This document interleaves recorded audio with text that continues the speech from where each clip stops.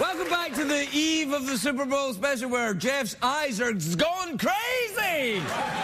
Geoff's, Geoff's, uh, uh, are you okay? Craig, I will be communicating with you telepathically for moments.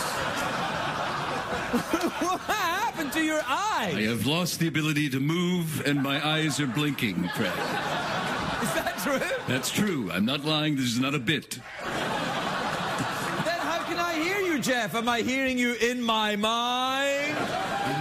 In mind, Craig. In my mind?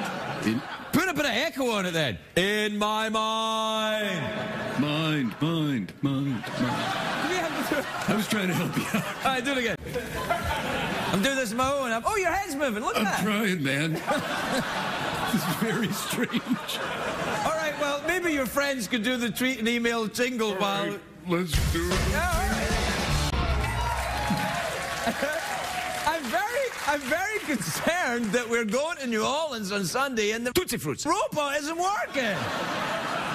Oh, now his eyes have gone. Now he's died completely. Craig, Geoff. Craig. This is it, Craig. I'm going out.